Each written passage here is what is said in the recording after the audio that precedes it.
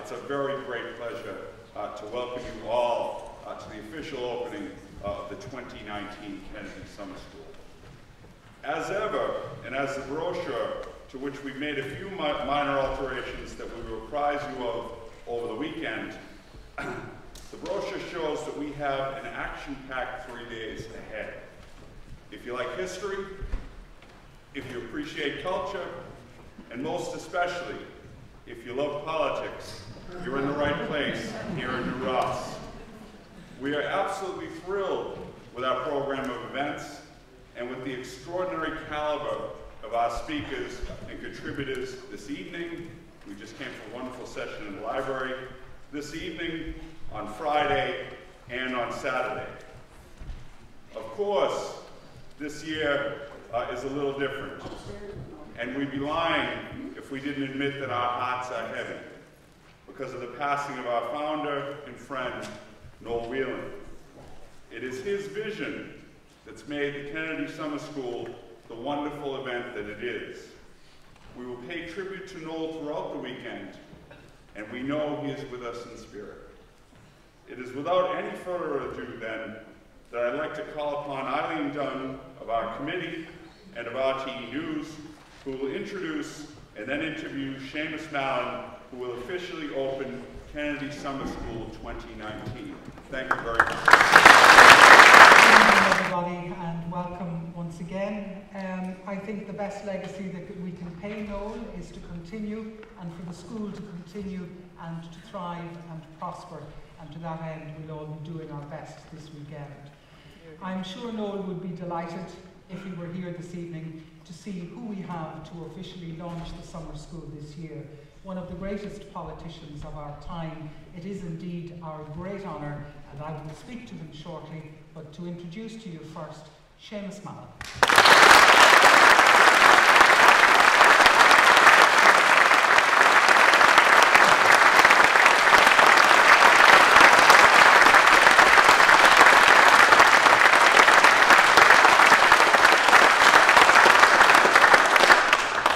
Ladies and gentlemen, could I first of all say how sorry I am but the man that Eileen has spoken about and we have all thought about isn't here.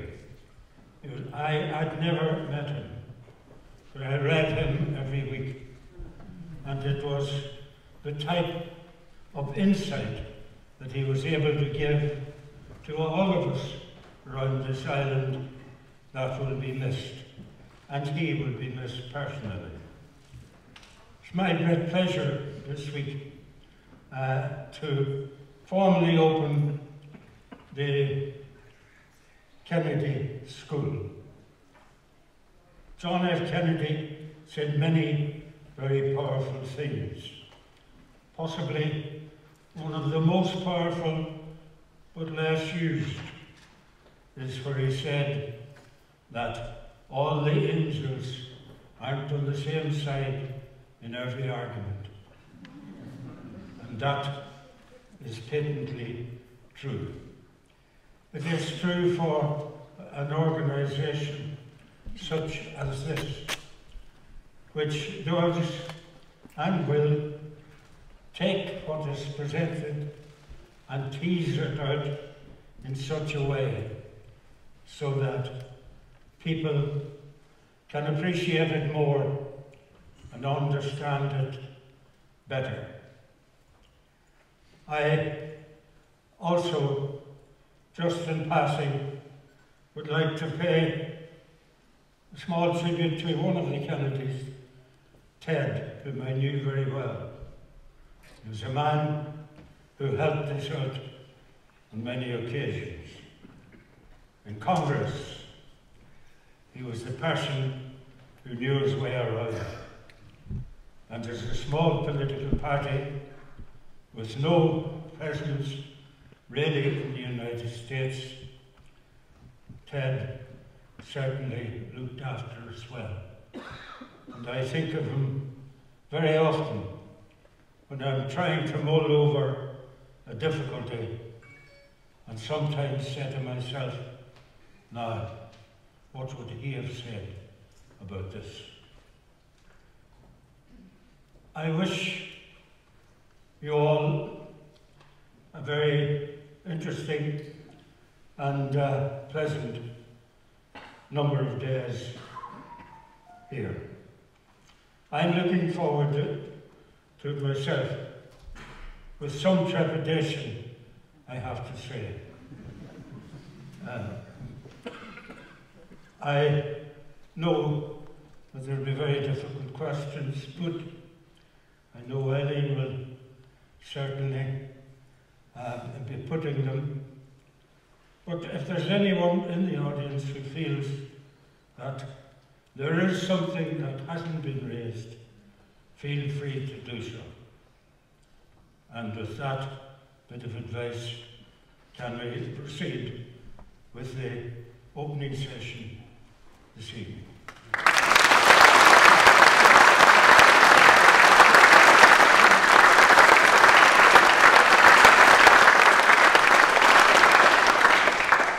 I'm not sure we'll have time for to take questions from the audience because our time is quite limited, but I'm sure you can speak to people on the way out.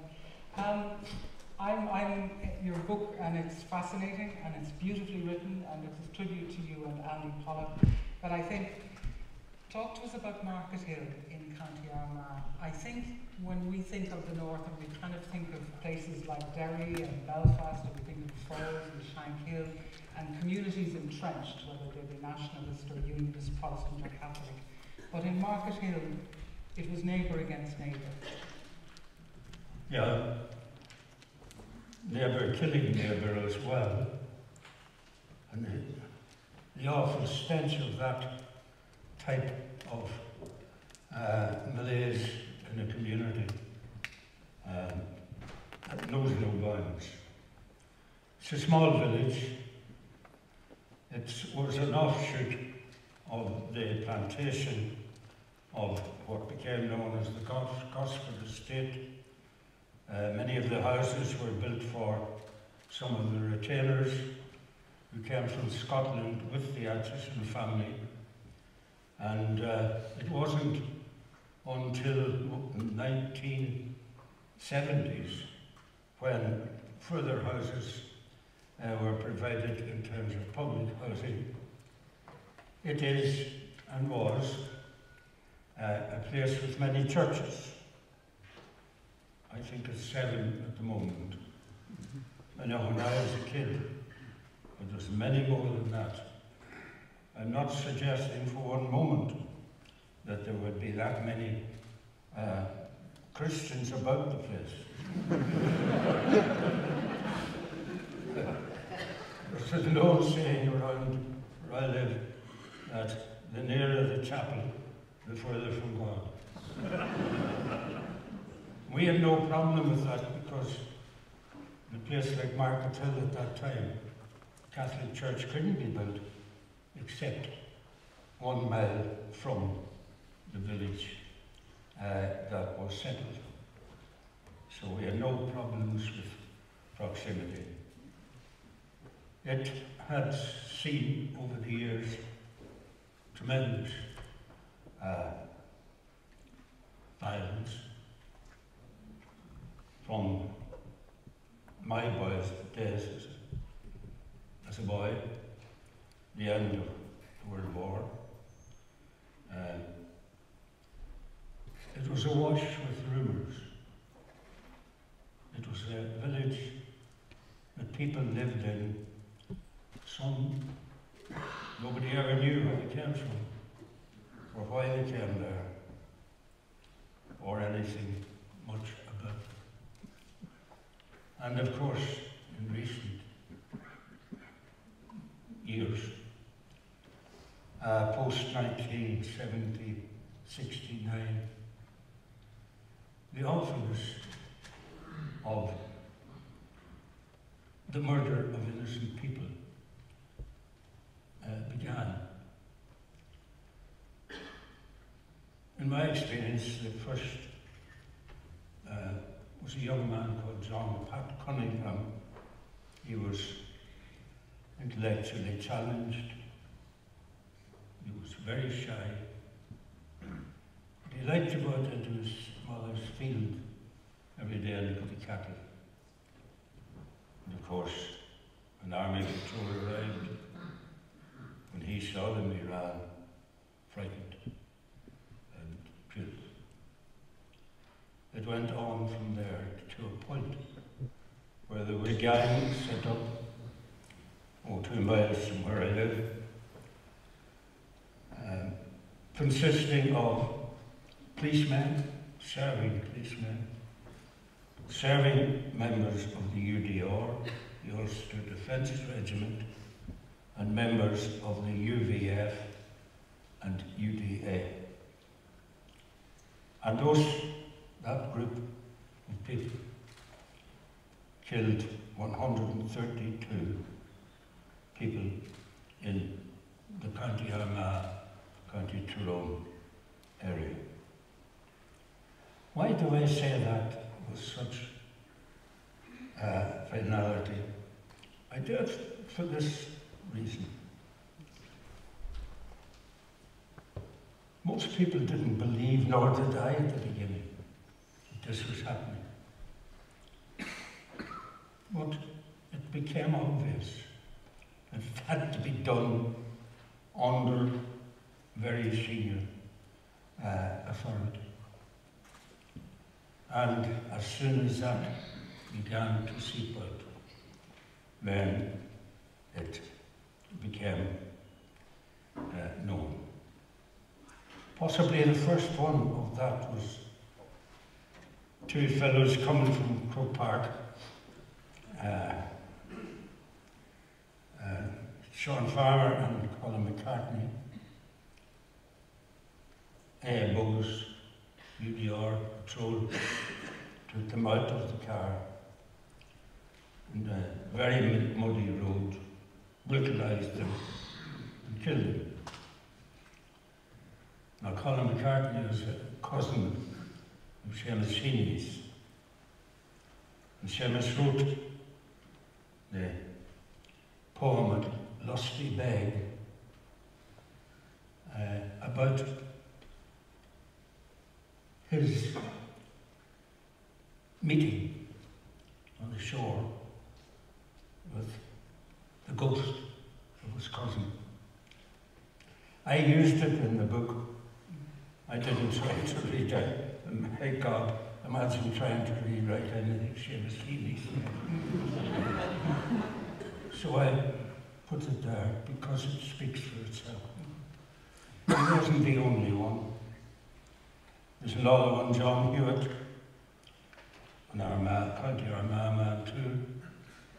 He uh,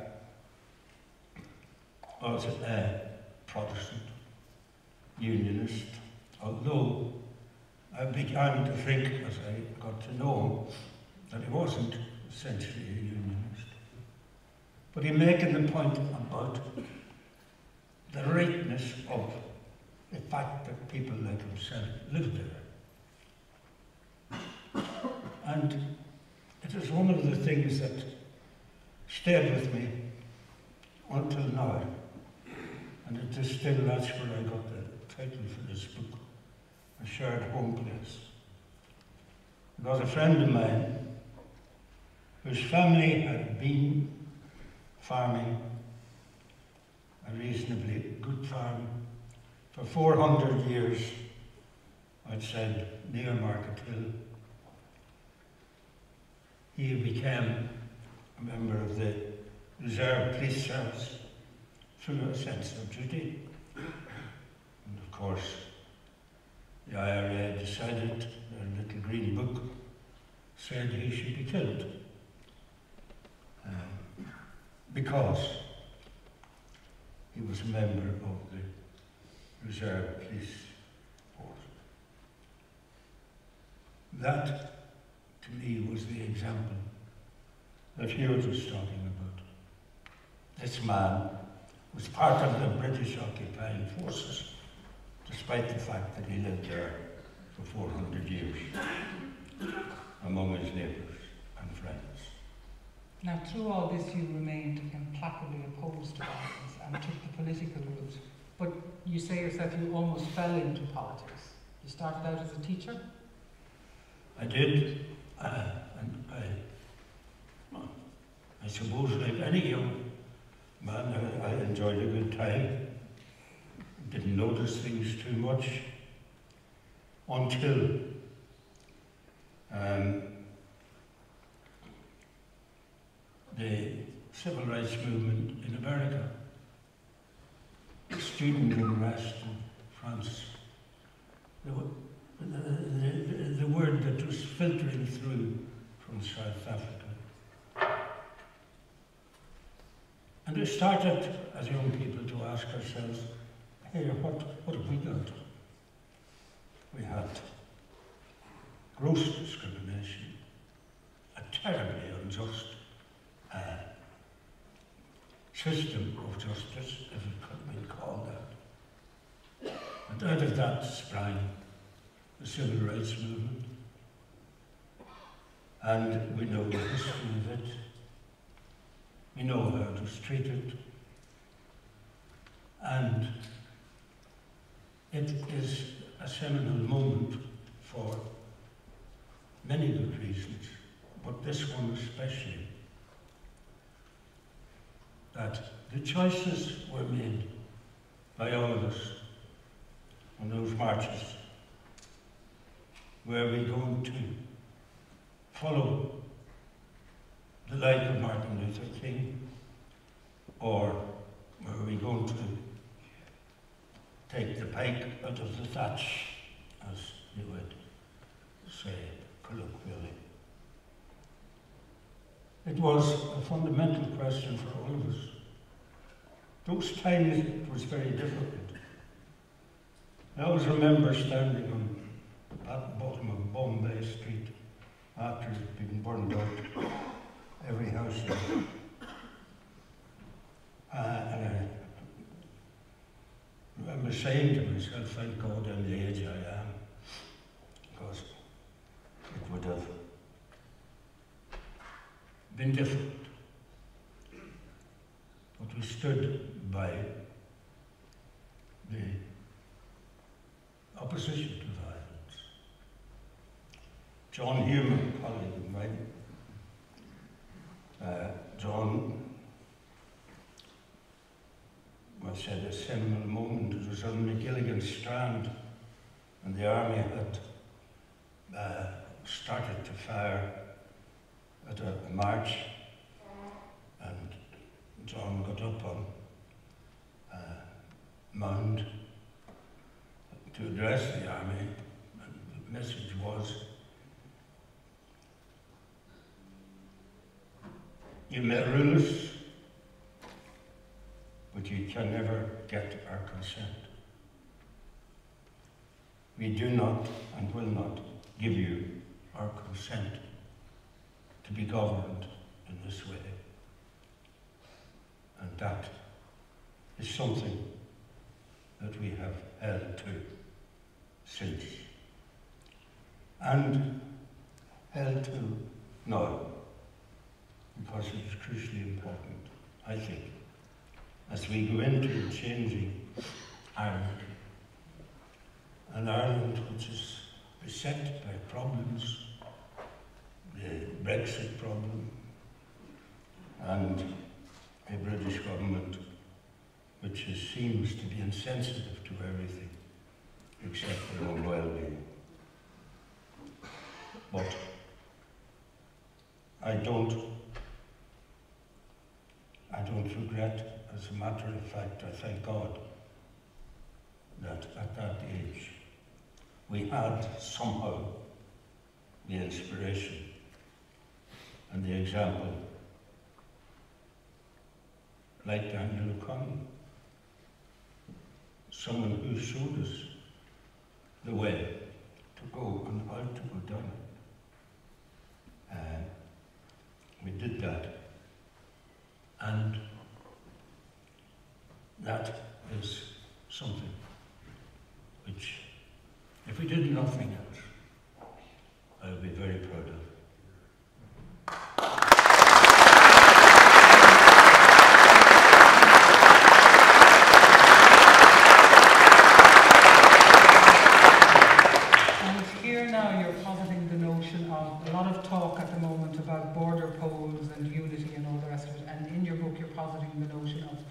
Consent. Talk to us a bit about that. Consent in terms of uh, the whole question of Irish unity and the growing demands for uh, a border poll. It was touched off by that. Now, the border poll referred to is a 50% plus one. And I happen to believe that if for a fundamental constitutional change that's going to affect a sec- sizable section of the community that may not terribly wish to have it, that 50% plus one is not enough. We shouldn't forget about the fact that for council elections, we have PR, and for Dáil Éireann elections, PR. For European elections, we have PR. And why should we go for a 50% plus one in this, these circumstances? So, I'm firmly of the view that we should be able to quantify somehow the strength or weakness of the unionist input. And that is something which has got to be organised. It can't be done, and if we look at the way in which Brexit has come about in Britain, it happened because there was no forward planning. It wasn't thought down the line. It was done for a spurious reason. Uh, if we're going to be serious about this, then we have to start and treat it seriously. I had to ask myself one question. The question is this Is Ireland north or south ready for unity?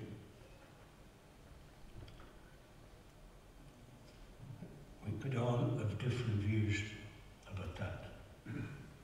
I happen to believe that neither is ready for unity because the groundwork hasn't been done.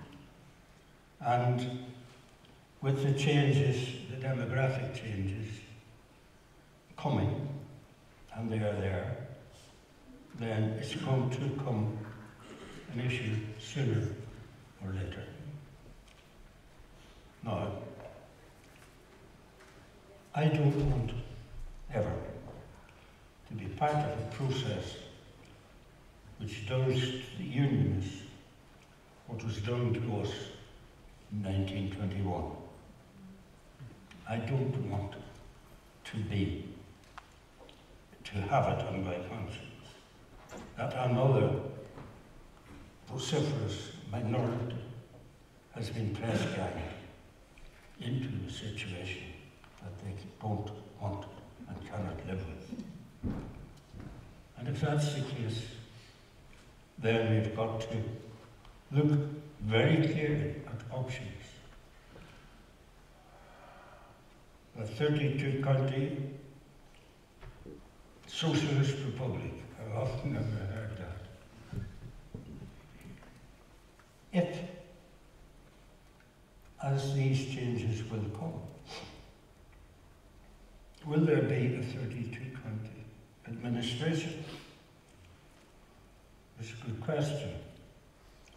If I were a unionist, I would be down next week at Leinster House and I'd be saying to the government parties the opposition parties uh, there's a change in the population going on.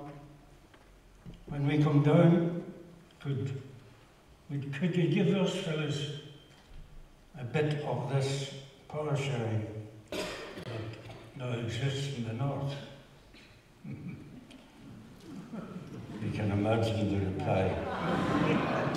given me the wrap up signs already, which you believe? But I can't let you go without asking you about the short term. Um, when you finish this, Theresa May was still in power. You served in the House of Commons. What's your view about what's happened there this week? I think there were two things that summed it up for me. One was in Versailles at the G7 meeting. There was a, a photo British Prime Minister.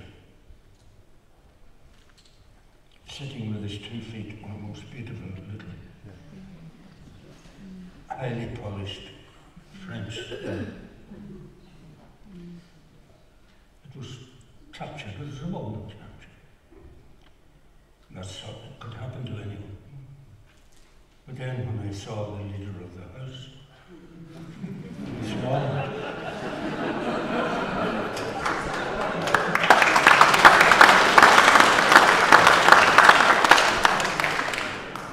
That tells, that tells us what respect they have for anybody.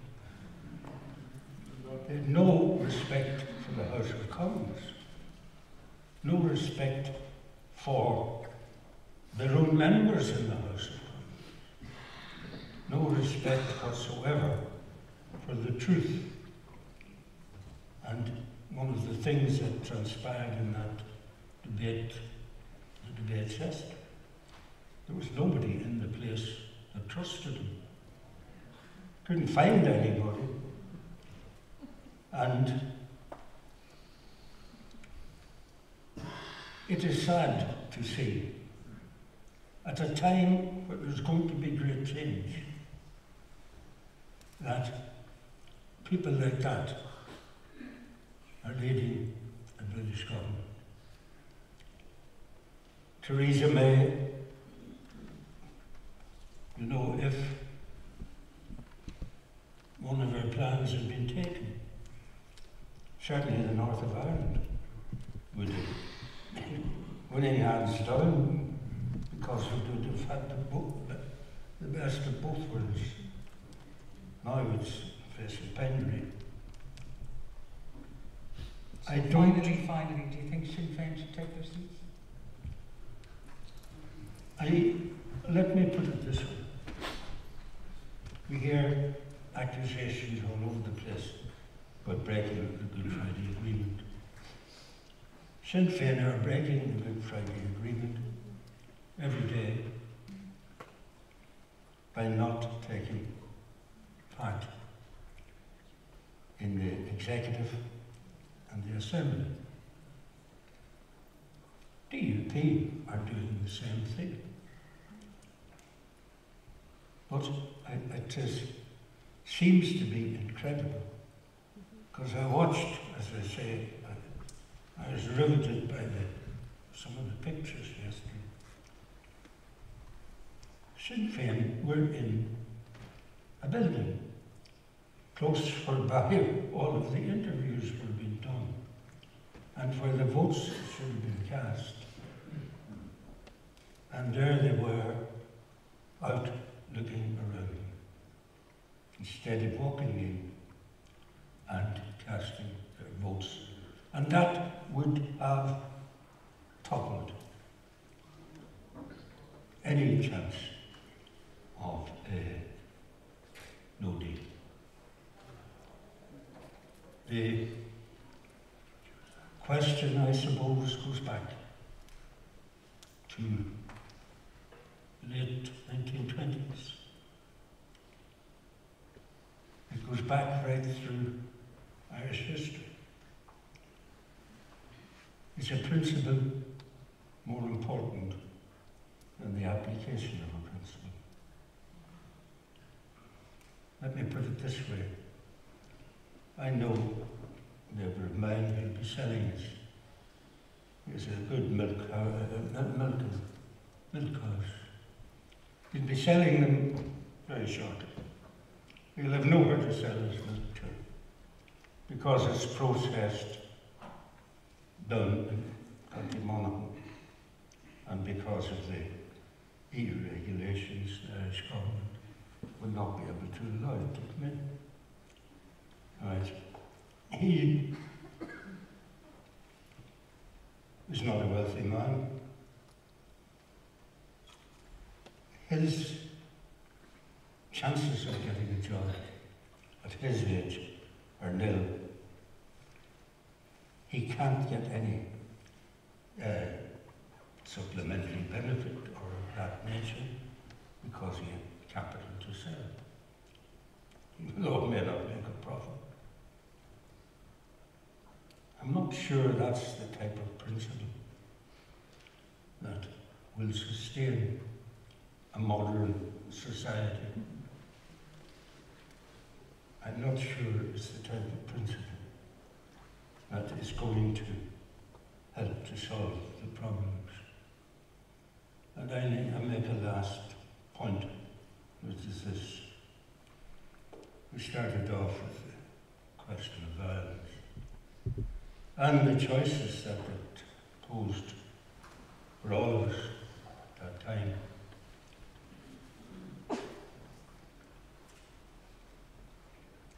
I happen to believe that the day that the IRA shot the first person and bombed the first building, they played themselves out of the process of persuading unionism towards a form of unity. To simplify that, anybody involved in politics has canvassed. Matter how well you know the people, you go to the door and you're a little bit apprehensive. If you happen to be at the door of a man you've killed, and his son or his wife daughter happens to be coming to take your call, I don't think it's going to be a successful interview. So that if we're going to be serious about the future, I think we've got to look at the at all of the problems straight in the eye, no ambiguity, and decide how we're going to make this island a place where it can be a shared home place for all of us. If we do that, a lot of the technical and deep political start to do what they normally do in peacetime, fade away.